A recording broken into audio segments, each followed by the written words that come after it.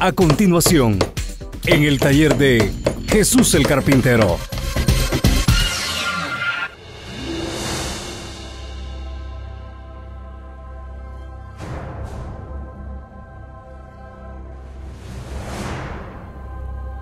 Dice así la palabra del Señor.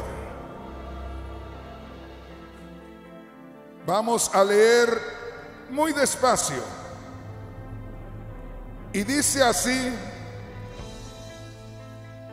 Mateo capítulo 17 y vamos a leer del verso 1 en adelante. Seis días después Jesús tomó a Pedro, a Jacobo y a Juan su hermano y los llevó aparte a un monte alto y se transfiguró delante de ellos y resplandeció su rostro como el sol y sus vestidos se hicieron blancos como la luz. Y aquí se les aparecieron Moisés y Elías hablando con él. Entonces Pedro dijo a Jesús, Señor, bueno es para nosotros que estemos aquí. Si quieres, hagamos aquí tres enramadas, una para ti, otra para Moisés y otra para Elías. Mientras él aún hablaba, una nube de luz los cubrió y he aquí una voz desde la nube que decía, este es mi Hijo amado en quien tengo complacencia. A él oíd. Al oír esto los discípulos se postraron sobre sus rostros y tuvieron gran temor. Entonces Jesús se acercó y los tocó y les dijo, levantaos y no temáis. Ahí nos vamos a detener. Puede tomar su asiento. Y vamos a meditar en la palabra de Dios. Oiga bien, hay tantas virtudes que solamente existen en Dios. Pero que esas virtudes podemos experimentarlas cada uno de aquellos que hemos creído en Cristo Jesús. Para mí, dos de las virtudes más grandes y más gloriosas son la obediencia y la humildad. Dos cosas maravillosas, sin las cuales Dios no se puede manifestar a través de alguien, sin las cuales nadie puede ver formación espiritual en él o en ella, sin las cuales uno defraudaría a Dios. Y es que necesitamos nosotros saber por qué estamos en este camino. Lamentablemente muchísimos cristianos no tienen ni la menor idea de por qué están en este camino. La Biblia dice por allá en Efesios 2.8, porque por gracia sois salvos. Quiere decir, estás en estado de salvación. Antes estabas en estado de condenación. Ibas directo a la condenación eterna hasta que Dios por su gracia, por un favor que tú y yo no merecíamos, porque Dios no estaba obligado a salvarnos, pero de pronto Dios nos envió a alguien para que nos hablara su palabra. Y con tantos vicios que teníamos, o con tantos negocios que teníamos, o con tanta religión que teníamos y que nos impedía oír a Dios, Dios detuvo todo eso para que escucháramos su voz y nos dio fe para responder a ese llamado. Y por eso estamos aquí. estamos aquí por gracia de Dios, porque a Dios le plujo, porque Dios sintió un día poner su mirada en ti, poner su mirada en mí, y por eso estamos aquí en este día. Bendito sea el nombre poderoso del Señor. Gloria a Dios. Una vez más, grábese esto. Hoy vamos a hablar de la obediencia. Y si usted se da cuenta, simplemente cheque cada día de los que predico y se dará cuenta que le predico diferentes temas. Que nos quedamos con el deseo de seguir con ese tema, pero tenemos que cambiar a otro tema. Para que se dé una idea tanto que debemos aprender de la palabra de Dios. Y tengo que decirle en estos momentos también, si usted me escucha, cada día le predico diferente tema, pero todos tienen una razón y todos son beneficio para nuestra vida espiritual. Y por eso les digo también, abran sus ojos hermanos, abran sus ojos hermanas. No todo lo que se oye por ahí que es palabra de Dios es palabra de Dios. Hay predicadores que solamente le van a predicar beneficios materiales, tocándole a uno el egoísmo, tocándole a uno lo que a uno le gusta en la carne. Y muchísima gente se va por ahí porque lo que quiere es placer de la carne. No me refiero a cuestiones sexuales ni cosas de esas, pero la carne se complace teniendo las cosas que desea. Así sea un buen carro, sea una buena casa, vivir una vida mejor. ¿Se acuerda cuando el Señor multiplicó los panes y los peces? Al otro día ya tenía más gente que la que tenía ese día. Y al otro día ya no estaba el Señor ahí, ya se había ido, pero allá lo andaban siguiendo. Y cuando lo encontraron le dijeron, Señor, te andábamos buscando, te nos escondiste, Señor. Y el Señor les dijo, qué lástima que me anden buscando nada más para llenarse la barriga, porque yo les multiplico los panes y los peces. Qué lástima que no puedan descubrir en la multiplicación de los panes y los peces el alimento espiritual que les traigo. Yo no vine a llenarles la barriga de alimentos, dijo el Señor. No vine a llenarles la barriga de pescado y de panes. Vine a salvar sus almas de la condenación eterna. Vine a algo diferente. Entonces les digo, mis hermanos, hermanas, amados, abramos los ojos. Por donde quiera usted encuentra iglesias supuestamente no son iglesias, son imitación de iglesias. Son engaño, es algo que ponen ahí, es una trampa para que la gente venga y sacarle su dinero. Como cuando usted agarra esas frutitas pequeñitas así, que no tienen la capacidad de morderla, sino que se la mete toda la boca, aprieta los dientes y saca nada más el bagazo y lo tira. Así los hacen pero hermano Rodríguez, están diciendo que aquí hay sanidad todos los días. Si todos los días les predican eso. Eso no es para salvación del alma. Eso es para que ellos hagan negocio. Para salvación del alma es predicarles a Cristo crucificado y resucitado y alimentarlos a cada día con todo esto que estamos viendo hoy. Otro día les voy a predicar de lo que dijo el apóstol Pedro. El apóstol Pedro dijo, ustedes ya tienen la misma naturaleza de Dios.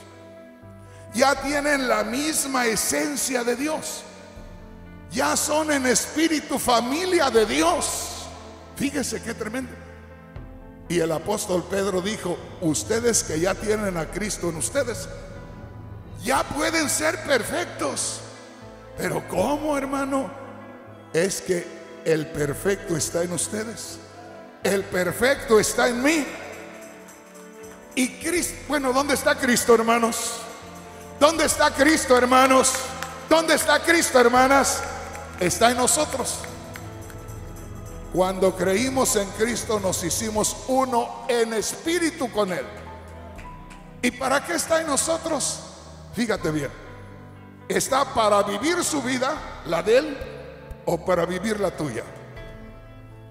Pero da lo mismo, porque si vive su vida en ti, entonces tú vas a hacer lo que Cristo que mora en ti quiera. Porque va a vivir la vida que vivió acá.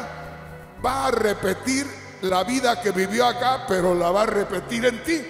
De manera que tus pensamientos, tus palabras, tus acciones ya no serán tuyas, sino serán las acciones de Cristo, las palabras de Cristo. Entonces Él vive su vida a través de ti. Fíjate bien. O permites ya, como dice el apóstol Pablo, ya no vivo yo, Cristo vive en mí. Vivo mi vida, pero la vivo porque Cristo me va dirigiendo. ¿Entendemos, hermanos? Entonces le digo una vez más, tenga mucho cuidado mirando los diversos temas que le traigo, que esto es madurez espiritual, crecimiento espiritual. Hermano, pero ¿y si predicara todo el año sanidad? Mire, de todas maneras los va a, de todas maneras el Señor los va a sanar a todos. Porque él dijo, si buscan primeramente el reino de Dios y su justicia, todas las enfermedades saldrán. Nada más busquen primeramente el reino de Dios y su justicia. Hermano Rodríguez, pero si voy a otro lugar donde siempre predican sanidad, siempre voy a estar sano, pero vas a estar sin el reino de Dios, porque te fuiste solo a buscar lo material, lo que te interesa humanamente y espiritualmente te quedaste sin nada. Pero ya vamos a empezar con el tema. Venga conmigo. Leímos Mateo capítulo 17 del verso 1 en adelante. Y al mensaje en este día le he titulado, sin obediencia no habrá servicio efectivo para Dios. Fíjese bien, sin obediencia jamás verás una vida completa en un servicio agradable a Dios. Sin obediencia jamás estarás satisfecho con la vida que estás sirviendo delante de Dios. Porque hay un vacío. Porque aunque estés en una iglesia que haya mucha actividad y te metas en la alabanza en el coro de la iglesia.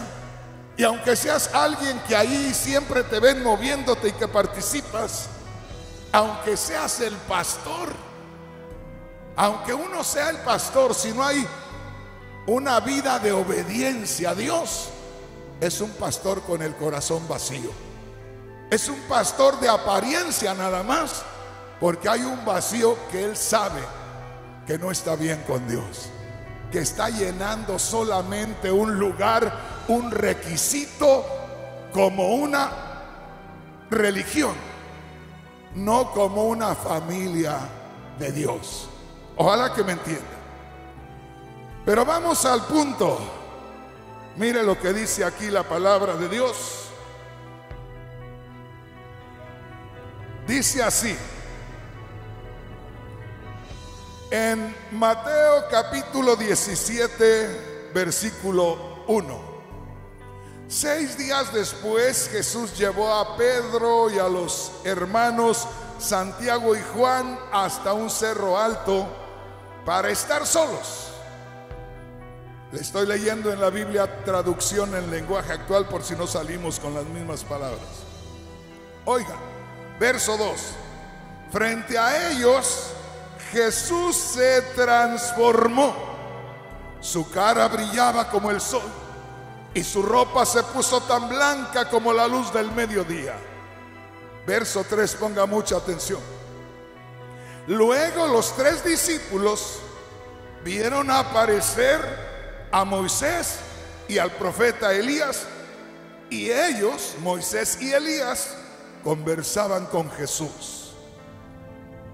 Me voy a detener un poquito aquí.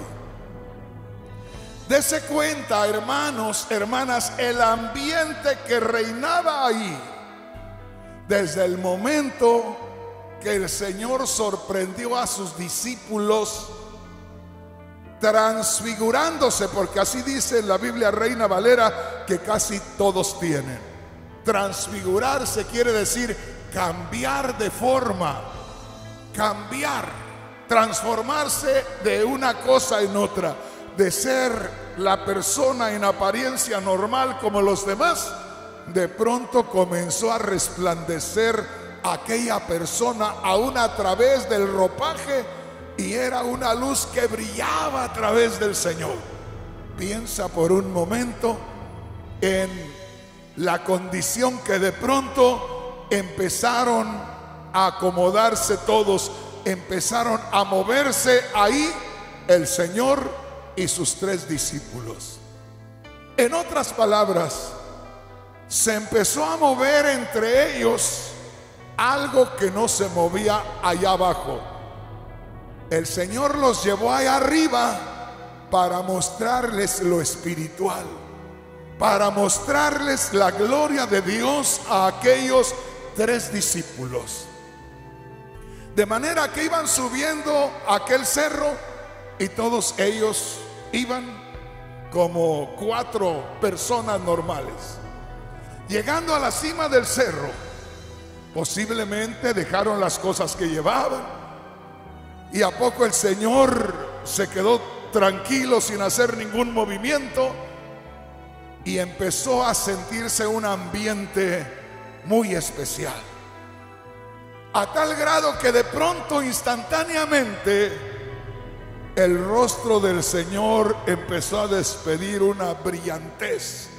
Empezó a manifestarse una luz gloriosa a través de aquella imagen, de aquella persona al grado que los discípulos se sorprendieron.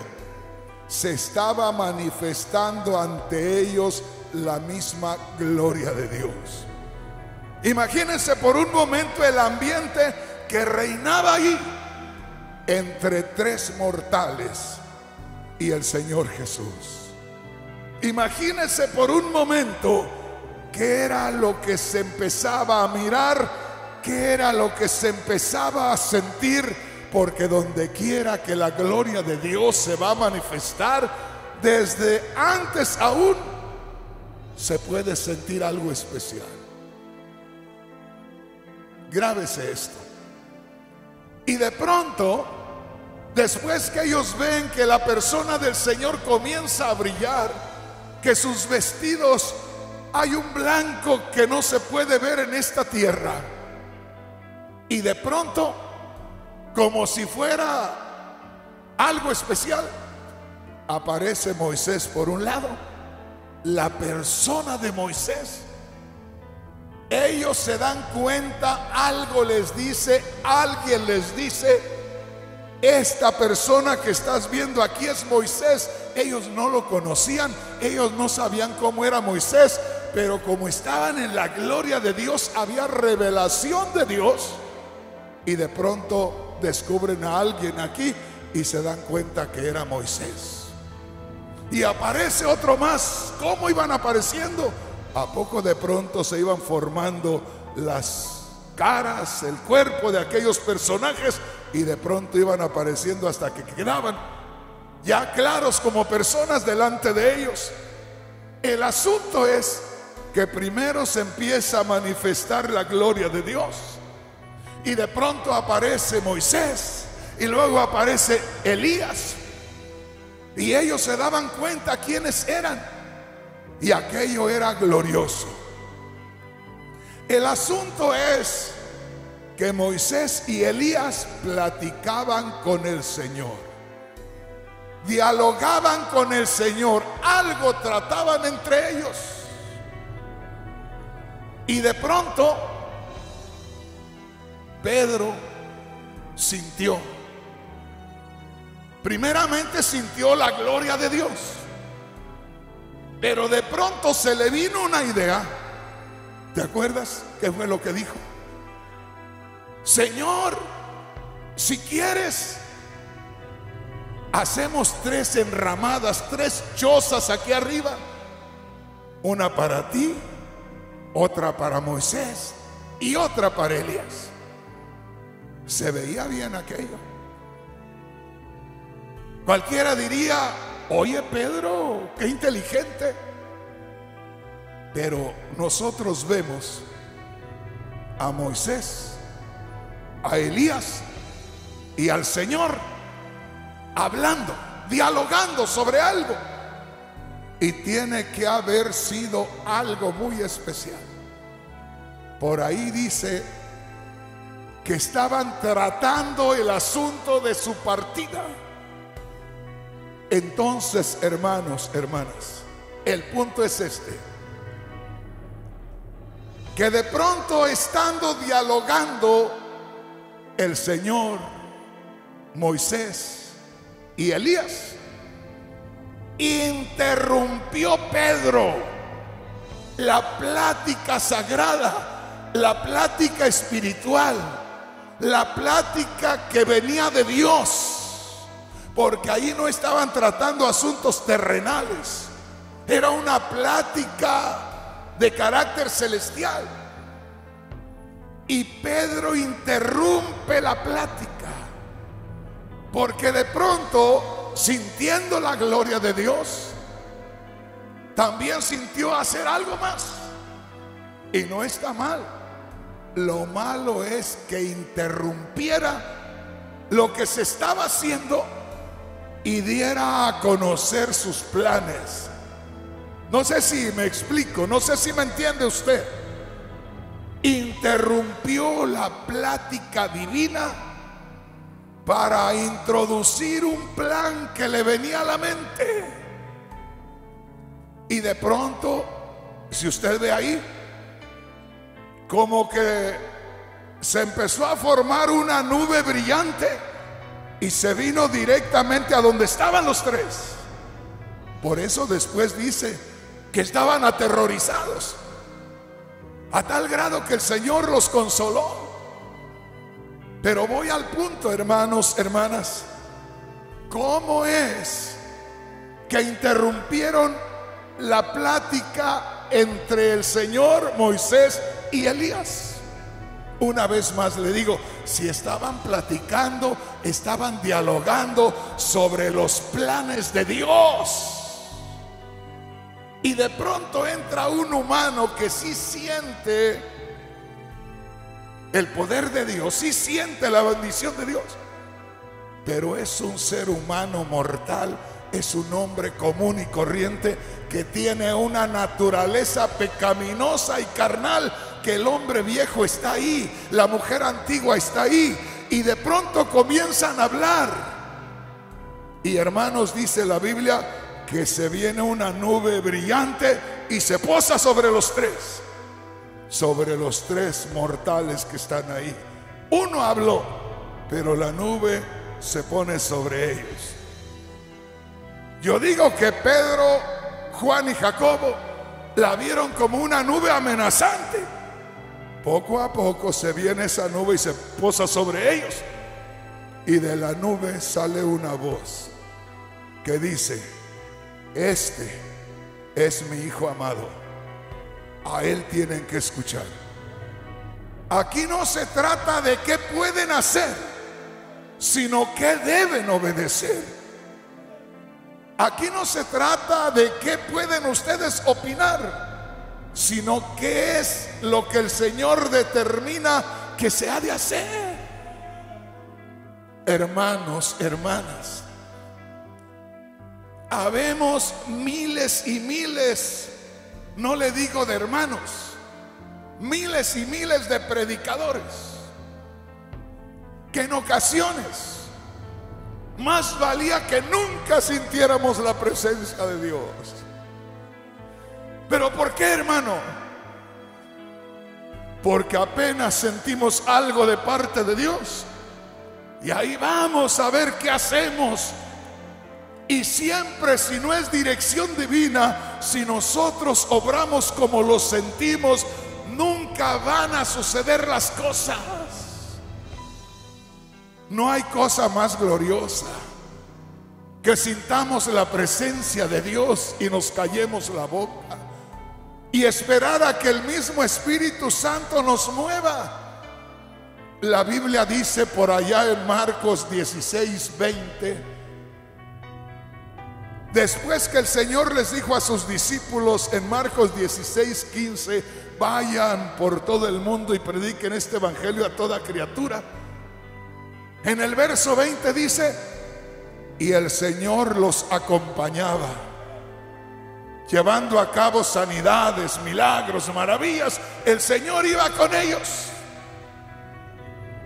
Y podemos nosotros confundirnos como humanos cuando de pronto dice,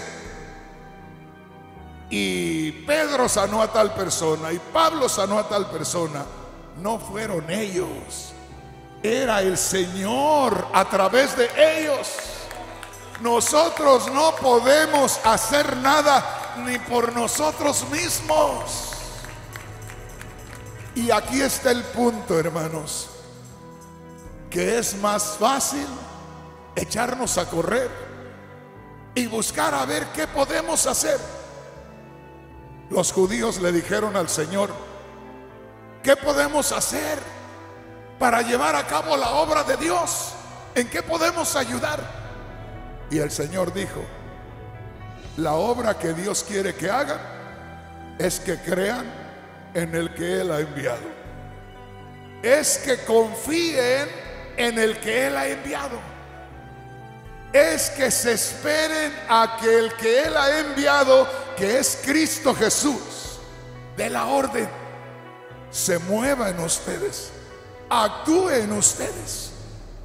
Y si de pronto no entendemos, no es asunto de actuar, de movernos porque sentimos hacer esto, sino, Señor, ¿qué harías tú en este caso? Señor, ¿cuál es el movimiento que debo dar? Porque una vez más tenemos dos responsabilidades muy serias. Si yo les pregunto dónde está Cristo, ¿qué me contestan ustedes? Está en nosotros. Y yo les digo, ahí está para vivir Él su propia vida, la vida que vivió antes, la va a repetir en nosotros. Pero va a usar nuestra mente, va a usar nuestras palabras, va a usar nuestras acciones.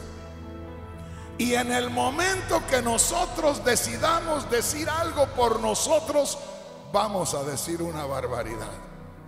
O en el momento que nosotros pensemos ir para cierto lugar, vamos a desviar el camino. Nos vamos a ir para otro lado. Vamos después a tener que regresarnos al camino nuevamente porque en cuanto nos prestaron a nosotros la dirección, cuando nos prestaron a nosotros el timón del barco, en lugar de ir para el norte donde íbamos, ya lo llevamos para el sur. Fíjese bien. Yo no sé, pero los que han ido un día en avión, los pilotos se encierran en un cuartito chiquito allá. Ya cuando va a despegar el avión, cierran la puerta aquella y yo pienso que por dentro ellos le ponen un seguro ahí. Nadie los tiene que molestar. Ellos son los que tienen que determinar por dónde se van y más vale que nadie se meta a estorbar. porque si no, no llegamos al lugar o al destino que tenemos que llegar. ¿Me explico, hermanos? ¿Me explico, hermanas? Entonces acá vemos a Pedro, que seguramente cuando Pedro dijo, maestro, sería bueno que hagamos tres enramadas. Y si no hablaban Jacobo y Juan, seguramente estaban afirmando así con la cabeza, sí, sí, sí, sí. No decía nada poco, pero sí, sí. Así que así sea. Muy buena intención. Pero no dejamos hablar al que tiene que dar la orden. El que sabe por dónde tenemos que ir. Si me entiendes, hermano? Entonces hay que saber primeramente qué es lo que el Señor dice. Y muchas veces nosotros, ¿no le ha pasado a usted, hermano, hermana? Que sucede algo y rápidamente nosotros nos movemos, nos desesperamos.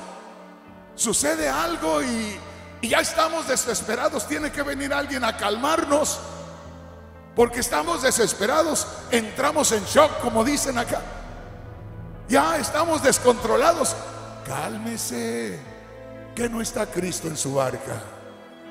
Cálmese. ¿Se acuerda que los discípulos cuando andaban allá en el mar, que el viento sopló fuerte y el mar se agitó? Y ellos empezaron a preocupar. Y llegó el momento que lo despertaron, supuestamente lo despertaron. Perdón, hermanos. Los que tradujeron la Biblia dicen que el Señor dormía. Yo no creo que el Señor dormía. Cuando una barca tan pequeña anda en unas olas agitadas y un viento terrible, ¿cómo va a dormir una persona? Yo he andado en una barca allá lo que menos puede usted es dormir. Lo que más quiere hacer es agarrarse, si tuviera 20 manos, con las 20 manos agarrarse. Porque el movimiento es tremendo. Nadie puede dormir así. Pero el Señor seguramente los estaba dejando para probarlos. Hasta que llegó el momento que vinieron y lo movieron, Señor. ¿No te preocupa que nos estamos hundiendo? ¿Crea usted, hermano, que el Señor estaba durmiendo? ¿Cree que el Señor se iba a hundir? ¿Cree que la barca se iba a hundir llevando al Señor? ¿Cómo se iba a hundir? Así fuera Satanás y todos sus demonios queriendo hundir a la barca, no pueden hundirla. Aunque el Señor no esté poniendo atención a eso, no la pueden hundir. Pero el Señor estaba dejando como nos deja a ti, a mí, hermana, en momentos de situaciones difíciles, a ver si nosotros lo buscamos. ¿Te das cuenta? Ahí estaban aquellos discípulos. Hablo de la barca que estaba en el mar de Galilea, que andaba para un lado y para otro, y ellos desesperados y van y le dicen, maestro, ¿no te das cuenta que nos estamos hundiendo? Hombres de poca fe. Nada más los estaba dejando que confiaran en mí que aquí voy. Hoy Cristo está más cerca que lo que estuvo de ellos. En nosotros. Allá estaba con ellos, junto con ellos a una distancia de un metro, dos metros. Pero hoy está dentro de ti. Hoy ha hecho su habitación en ti. Tú mismo lo estás confesando. Tú mismo dices, aquí está Cristo. Pues si está Cristo ahí, no hay diablo, no hay demonio que te vaya a hundir en la mar embravecida de problemas, de luchas y de pruebas. Si la mar agita tu barca, si el viento te sacude para un lado y otro, es porque el Señor está esperando que le hables, que le clames, que lo invoques. Está esperando que descubras que Él va en la barca. Que tu barca no se puede hundir si Él no lo permite y mientras el Señor vaya en tu barca no se podrá hundir jamás. Bendito sea el nombre poderoso del Señor. Aleluya. Dale un aplauso al Señor con todo tu corazón. Gloria a Dios.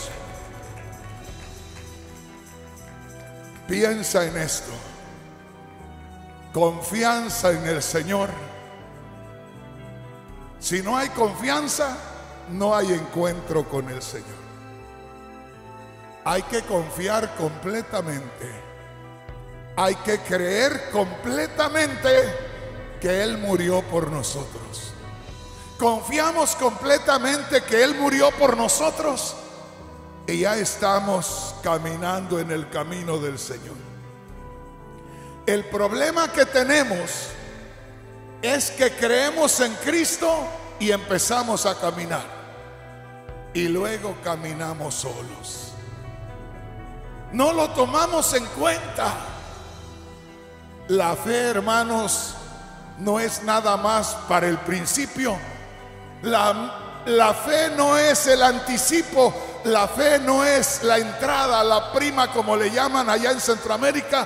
La fe no es el enganche de la salvación. La fe, mi hermano, le lleva a usted a la salvación. Pero no tiene la fe. Manténgala con usted. Y manteniendo usted la fe con usted, la salvación estará siempre ahí, la victoria estará siempre ahí, porque entre tanto que usted mantenga la confianza en el Señor, tendrá victoria. Hay escrituras que yo le cito mucho. Gálatas 2:20. Con Cristo estoy juntamente crucificado me hablaron de Cristo que murió por mis pecados y que resucitó de entre los muertos. Me identifiqué con Él porque Él murió por mí. Él tomó mi lugar. Cuando me hablaron de Cristo que murió por mí y resucitó también por mí, entonces yo lo creí. Me identifiqué con Él. Aquello lo hice mío y pasé de estar en estado de condenación a estado de salvación. Pero esa confianza que tuve en el principio, la sigo teniendo conmigo. Que aquel que murió por mis pecados también resucitó. Quiere decir que está vivo, que no se quedó en la tumba. Y que también subió a la gloria. Y que está en gloria de manera que al Cristo que tengo acá no es el Cristo que da lástima colgado en la cruz, sino tengo al Cristo que se levantó de entre los muertos. Tengo al Cristo que venció a la misma muerte. Tengo al Cristo que venció a Satanás en la cruz del Calvario. Tengo al Cristo que me conectó a la vida espiritual. Porque por la muerte y resurrección de Cristo, por esa fe en ello, usted es conectado a la vida eterna. Cristo dijo en Juan 7:38, el que cree en mí, como dice la escritura, de su vientre, de allá de adentro, de lo más profundo de tu ser, desde tu mismo espíritu, donde entra el Espíritu Santo, allá tu mismo espíritu, de su vientre fluirán ríos de agua viva. Se moverán ríos de agua viva. Habrá una erupción de ríos de agua viva. Emanarán ríos de agua viva. Brotarán ríos de agua viva. ¿Te imaginas la vida eterna fluyendo en ti? La vida eterna moviéndose en tu ser. Imagínate. Y todo por la fe, todo por la confianza. en aquel que mora en mí, en aquel que mora en ti. Pero recuerda esto, tiene que haber obediencia en nosotros. Primero la fe, la confianza que Él está en nosotros. Pero ¿para qué está en nosotros? ¿Para que lo ignoremos? ¿Para que hagamos las cosas a nuestra manera? Se me ocurrió, pensé. No. Cristo dijo, si alguno quiere ser mi discípulo, deje de pensar. Dijo, si alguno quiere ser mi discípulo, niéguese a sí mismo. Usted no tiene ya que ver en el asunto de los planes de Dios. Si alguno quiere ser mi discípulo, yo soy el maestro, dijo el Señor. ¿Me está entendiendo? Yo he entendido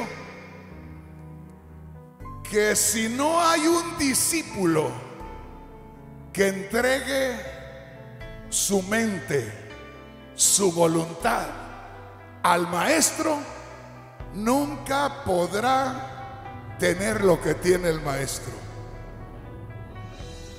El discípulo tiene que entregar su mente y su voluntad plena al que lo enseña. Fíjese bien. Ahora acá no tenemos un maestrillo de los que hay ahorita. Ya sea instructor de los niños en el béisbol o fútbol y que al rato los violan. Ya sea los niños que salen por ahí ciertos días al campo, que los sacan por ahí, ¿cómo les llaman? Boy Scouts, que al rato después de 20 años sale con que violaron a un montón de niños. O a las niñas que instruyeron en la gimnasia que al rato las violaron casi a todas. Por haber confiado. Acá mi hermano, mi hermana, estamos para poner nuestra confianza en el mismo Dios hecho hombre. En el mismo Dios, creador de los cielos y de la tierra, que vino hasta nosotros a rescatarnos. ¿Te imaginas? Y hay veces que mejor confiamos en otra cosa que confiar en Cristo, que confiar en Dios. Somos tan confiados en cualquier otra cosa y no confiamos en Dios, en las cosas espirituales. Que nos entreguemos, que nos sometamos, que nos dejemos mover que no nos movamos a la primera porque a la primera vamos tú y yo. No sé si me explico. Yo les digo a los hermanos, allá en mi tierra, en la ciudad de Guadalajara, Jalisco, en México, la gente se mueve en autobuses y tú vas al centro de la ciudad y ves una nube de autobuses para un lado y para otro, unos verdes oscuros unos crema, otros amarillos, otros azules, de todos colores. Y de pronto tú vas para donde vives y es un color crema, por ejemplo. Pero no todos los colores crema van para el mismo lugar. Es una compañía con el mismo color, pero se mueven por toda la ciudad de Guadalajara. Para saber a dónde vas, dice Ruta 56. Ahí. Y te mueves por la ruta. Y hay veces que tienes que dejar pasar como 8 o 10 camiones crema o amarillo para que pase el tuyo. Fíjate bien. Entonces nosotros, hermano, hermana, debemos de ser cuidadosos. Vamos a sentir muchas cosas. Y de pronto nos va a engañar Satanás. Porque nos vamos a adelantar. Nos vamos a ir con la insinuación de Satanás. Como yo lo siento. Se nos olvida que dentro de nosotros hay un sistema como aquellas maquinarias viejas. Hermanos, yo veo ahora las televisiones que había antes. Miren hermanos, en Ontario, en la ciudad de Ontario, en la iglesia de Ontario, teníamos unas televisiones normales. Y había una televisión que se necesitaban dos hombres fuertes para moverla. Yo no sé qué le metían. Ahora las televisiones las toma usted debajo del brazo de las más grandes y se las lleva. Las computadoras por allá en los 60 necesitaban un cuarto de donde duerme una persona, un cuarto para la computadora. Hoy trae una computadora así, una cosita así, en dos dedos se la lleva. Me llama la atención cómo hemos cambiado. Y yo quisiera, mis hermanos, mis hermanas, que nos adaptáramos. Hoy en este tiempo, cuando cada quien se mueve como siente y como quiera, que nosotros volvamos a lo que enseña la palabra del Señor. Que no nos movamos nada más por la emoción. Que no nos movamos nada más por lo que sentimos. Sino que antes hablemos con Dios. Nos aseguremos que estamos en conexión con Dios. Y le digamos, Señor, enséñame qué paso tengo que dar. Enséñame por dónde me tengo que mover, Señor. Enséñame, Señor, qué debo hacer, por dónde me conviene más. Hermanos, yo tenía un amigo que costó darle la palabra de Dios. Y cuando se convirtió, se convirtió de corazón. Y buscaba hacer grandes cosas en el Señor. Y un día le ofrecieron un trabajo por allá, por el norte de California. Hermanos, todavía no acababan de hablar los que le estaban ofreciendo el trabajo y él ya estaba listo. Ya no me diga más, cuente conmigo. Y yo lo escuchaba y yo pensaba en una cosa. Él pensaba en el trabajo que le iban a pagar tres veces más. Y yo pensaba, ¿y habrá dónde congregarse allá? Él no lo veía así. Él veía la oportunidad de trabajo que le iba a dar tres veces más. Y sin esperarlo tanto, dijo, me voy, cuente conmigo. Y se fue. Y no habían pasado seis meses cuando ya andaba otra vez igual que antes. Pero ¿por qué, hermano? Porque simplemente allá no había de dónde alimentarse. Se soltó de donde estaba siendo alimentado y se fue a entregarse a las manos del enemigo. Hermano, la salvación del alma no costó tres cacahuates. La salvación del alma costó el sacrificio de Cristo. Y la salvación de tu alma, cuando te la dieron a ti, miles y en estos días millones se quedaron esperando esa salvación. Hay miles de hombres y mujeres llorando, abandonados por ahí, debajo de un puente. Aquí en el área de Los Ángeles, en esas casitas que hay donde quiera, hay miles de hombres y mujeres ahí que no tuvieron la oportunidad que tú tienes. ¿A poco no tienes dólares? ¿A poco no has amasado una fortuna? Pero tienes el reino de los cielos que te pertenece. Eres hijo, eres hija de Dios. Hoy estamos aquí, nada más por unos días. Mañana o pasado vamos a irnos con Cristo por toda la eternidad. Dale un aplauso al Rey con todo tu corazón. Qué preciosa es la palabra del Señor. Qué hermoso es escuchar y aprender de la palabra de Dios. Gloria a Dios.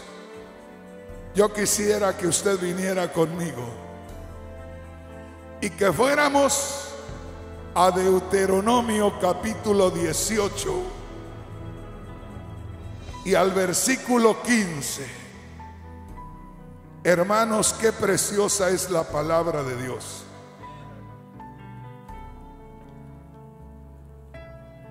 Qué triste es cuando nosotros no tenemos el conocimiento de la palabra de Dios. Podemos traer la Biblia debajo del brazo y no sabemos lo que traemos. No le estoy juzgando a mi hermano mi hermana, para eso estamos aquí. Mire lo que dice en Deuteronomio capítulo, ¿qué le dije? 18, versículo 15. ¿Sabía usted, fíjese bien, ¿sabía usted que allá Dios a través de Moisés habló de Cristo? Ahí dice, ¿qué dice? profeta en medio de ti, le está hablando al pueblo de Israel. Israel, un profeta saldrá de en medio de ti. Entre la nación de Israel un día saldrá un profeta y está hablando de Cristo. Mire, profeta en medio de ti, de tus hermanos, como yo, te levantará Jehová tu Dios. A Él oiréis. Oiga, no dice, a Él le opinaréis. ¿Se acuerda lo que pasó allá? Estaba el Señor hablando con Moisés y Elías en Mateo 17. En el monte de la transfiguración estaba su Señor ocupado no estaba tratando con ellos, estaba tratando con Moisés y Elías. Y Pedro interrumpió la plática. Y se viene rápido una nube y se pone sobre ellos. Y de la nube sale salen unas palabras para llamar la atención de los que estaban interrumpiendo. Este es mi hijo amado, en el cual tengo complacencia. Este es el único que me complace en el mundo. No interrumpan. A él oígalo. Fíjese lo que dice allá. Moisés mismo lo dijo. Moisés era el mediador entre Israel y Dios. Y hay algo tremendo. Que Dios le dijo al pueblo de Israel. Si ustedes me obedecen, yo los voy a amar mucho y ustedes van a ser un reino de sacerdotes. En otras palabras, ustedes, Israel, van a estar mediando entre las demás naciones y yo. Para eso los quiero. Mire, volvamos a leer una vez más Deuteronomio 18:15. Oiga profeta de medio de ti, en medio de ti Israel, saldrá un profeta. De tus hermanos, en medio de ti, de tus hermanos, saldrá un profeta como yo. Levantará Dios a ese profeta y a él lo vas a oír. Oiga, oír y obedecer. Oír y obedecer. Una vez más le digo, los líderes debemos estar más dispuestos a oír la voz de Dios y a obedecer la voz de Dios. Y el pueblo, hermanos, tiene que oír la voz de Dios a través del líder y tiene que estar dispuesto a obedecer. Fíjese bien. Y yo quiero hablarles al corazón, hermanos, hermanas quiero que pongan atención. Yo sé que la gran mayoría de los hermanos en la iglesia confían, vienen, escuchan, se llenan y se van. Pero entre los que estamos a veces, algunos actuamos como sentimos, pero una vez más lo repito, la gran mayoría viene, oye, se llena y se va. Pero entre nosotros de pronto, como le digo, a veces Satanás trabaja y de pronto nos hace sentir algo que podemos hacer. Y recuerde, acá dice tanto en lo que leímos de Mateo 17, como lo que estamos leyendo de Deuteronomio capítulo 18, versículo 15, Dios dijo, entre el pueblo de Israel me va a salir un profeta, yo levantaré un profeta, a ese tienen que oír, y aquel que no lo oiga, ¿qué dice hermano? A él oiréis.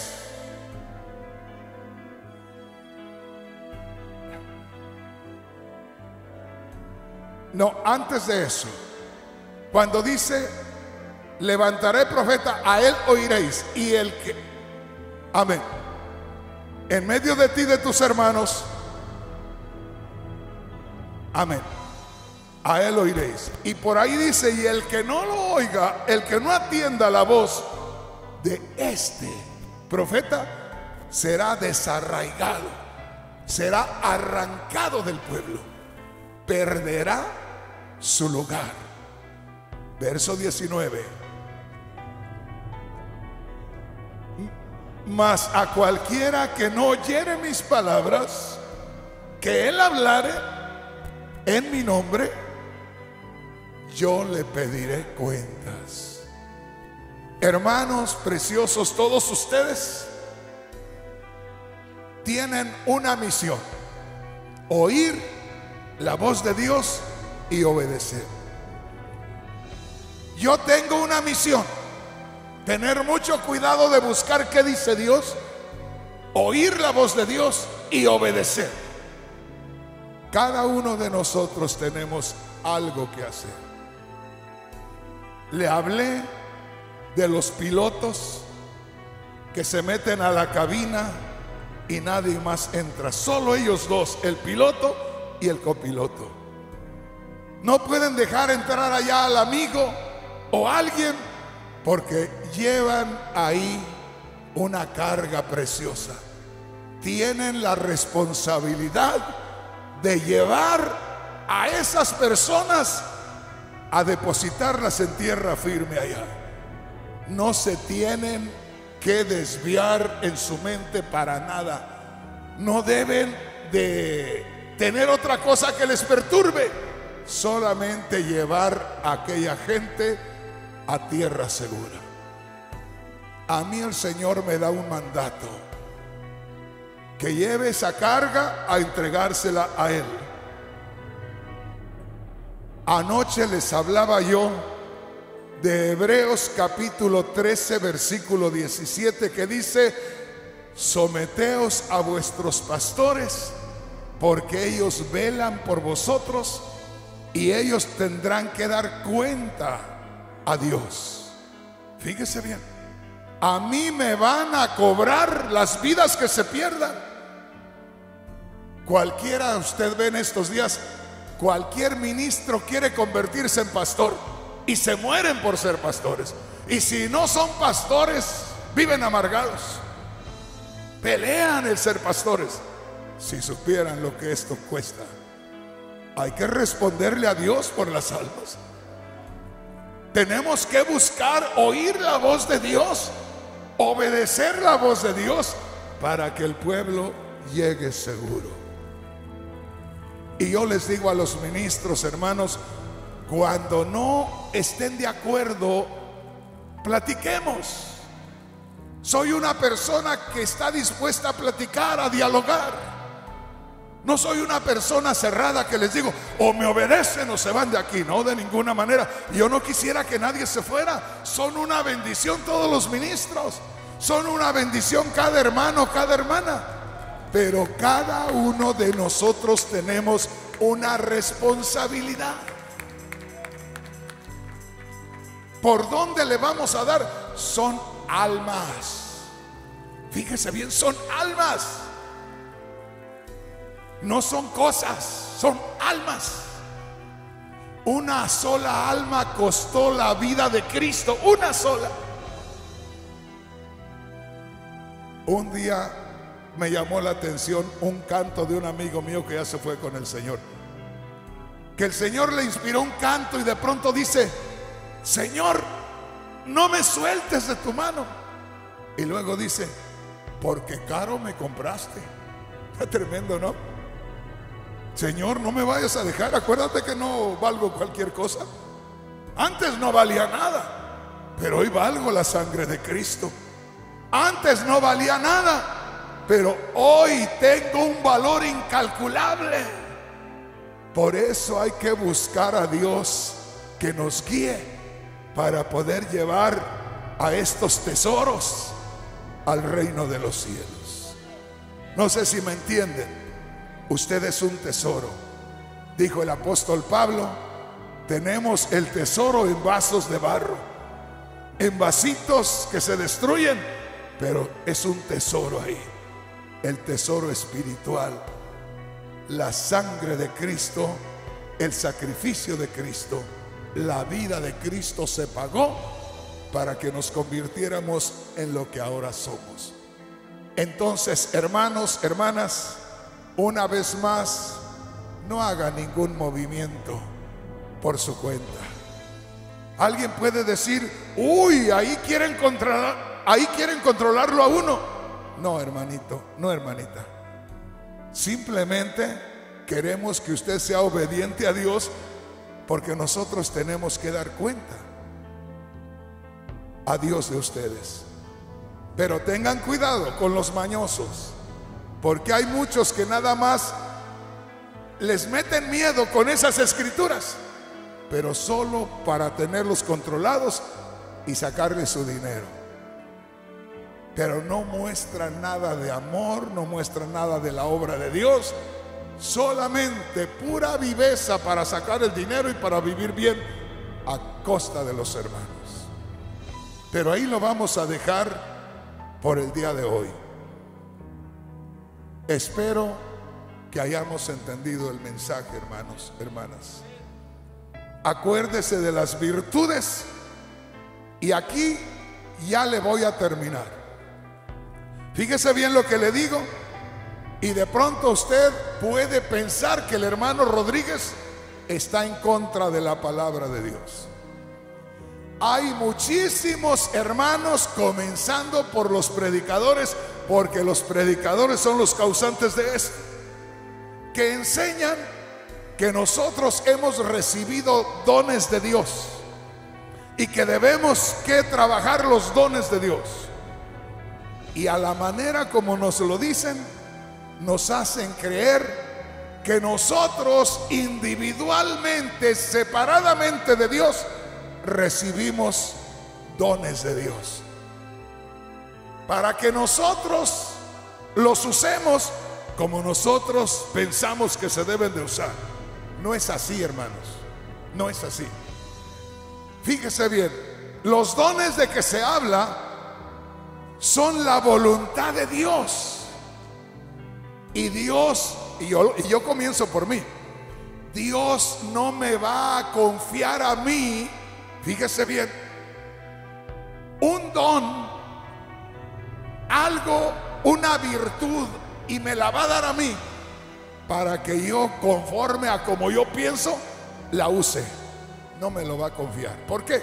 Porque yo tengo una naturaleza pecaminosa, que de pronto lleno de orgullo, puedo pensar que yo puedo hacer esto y que puedo hacer esto otro, y no es así la cosa. Entonces, hermano, no recibimos dones, perdónenme, pero nadie tiene dones para trabajar con ellos. Lo que recibimos es al Espíritu Santo, al Señor de los dones, al dueño de los dones. Y no para que nosotros tomemos los dones del Espíritu Santo y actuemos como querramos, sino para que nosotros seamos obedientes a Dios, seamos humildes y para que el Espíritu Santo de los dones obre a través de nosotros con sabiduría, obre a través de nosotros eh, reprendiendo al enemigo y que salga, obre a través de nosotros orando por los hermanos para que los hermanos hablen en lenguas, pero ninguno de los dones son virtudes confiadas separadamente a nosotros. Es el espíritu de los dones que está en nosotros, que a medida que nosotros nos prestamos como instrumentos adecuados a Él, entonces Dios obra. El Cristo que levantó a Lázaro, el Cristo que sanó a los paralíticos, a los ciegos, es el mismo que va en nosotros.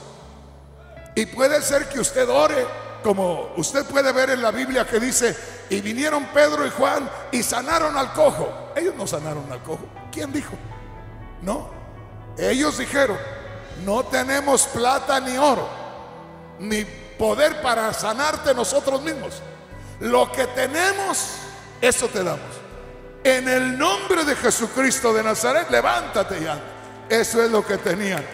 Y eso era lo que el Espíritu Santo estaba haciendo a través de ellos. No eran Pedro y Juan, era el Espíritu Santo moviéndose a través de ellos y dando órdenes. Una cosa es decir, obraron por el Espíritu Santo y otra cosa es decir, el Espíritu Santo obró a través de ellos. Suena igual, ¿verdad? Pero no es igual. Una cosa es decir, obraron por el Espíritu Santo, como diciendo, ellos obraron utilizando como medio al Espíritu Santo. Perdóneme. El Espíritu Santo obró a través de ellos, usándolos a ellos. Pero ahí se lo dejo de tarea. Otro día lo vamos a tocar en serio. Póngase de pie.